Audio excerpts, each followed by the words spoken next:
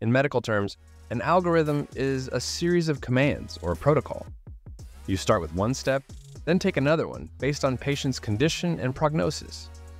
They provide clear guidelines for diagnosing and treating patients, ensuring consistency and improving outcomes. In this video, we are looking at five different algorithms, absolutely crucial, and you wouldn't want to miss any one of them. First up, we have basic life support, or BLS, and advanced cardiac life support, known as ACLS. When a patient is unresponsive and not breathing normally, you start with chest compressions right away. You do 30 compressions followed by two rescue breaths. Keep going until help arrives or the patient starts showing signs of life. Also, use an automated external defibrillator, or AED. It analyzes the heart rhythm and can deliver a shock if necessary. Now, let's move on to ACLS. This algorithm provides detailed steps for managing cardiac arrest, bradycardia, tachycardia, and post-cardiac arrest care. For cardiac arrest, the steps include high-quality CPR, defibrillation if the rhythm is shockable, administering medications like epinephrine and amiodarone, and managing the airway. For bradycardia and tachycardia, ACLS guides you in using medications, pacing, or cardioversion based on the patient's condition. To learn more about it, we have got a video for you. Next, let's talk about sepsis management. The Sepsis 6 bundle is a straightforward approach for managing sepsis early on. Within one hour, you need to give oxygen to maintain oxygen saturation above 94%. Then, take blood cultures to identify the infection. Now, start intravenous antibiotics. Also, provide IV fluids to maintain blood pressure.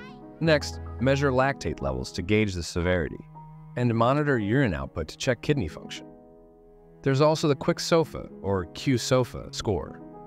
This helps you quickly identify patients at risk of sepsis by looking at their respiratory rate, mental status, and blood pressure. A score of 2 or more indicates a higher risk. Click on the video in the corner above to learn it fully.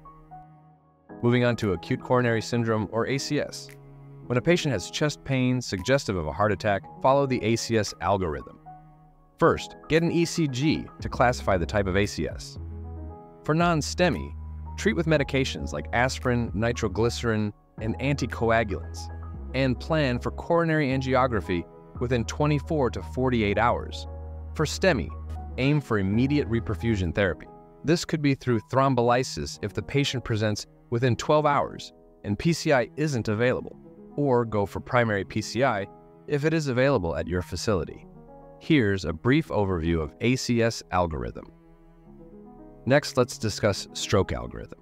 The FAST assessment face, arms, speech, time, is a quick way to recognize a stroke. If you notice facial drooping, arm weakness, or speech difficulties, call for emergency help immediately. Then, follow the acute ischemic stroke management protocol. Get a CT scan to determine if it's an ischemic or hemorrhagic stroke. For ischemic strokes, administer TPA if the patient is eligible and presents within three to four and a half hours of symptom onset. If TPA isn't suitable, consider endovascular therapy. Transfer the patient to a stroke unit for specialized care. Finally, let's cover acute respiratory distress and airway management. This is probably the most important of them all, since it's spine of medical emergency. Rapid sequence intubation, or RSI, is a structured approach for intubating critically ill patients.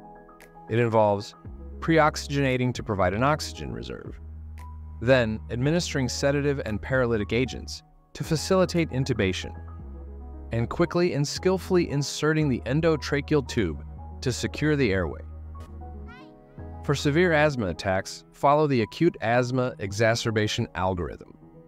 Administer high-dose inhaled bronchodilators like albuterol, give systemic corticosteroids to reduce inflammation and provide oxygen therapy.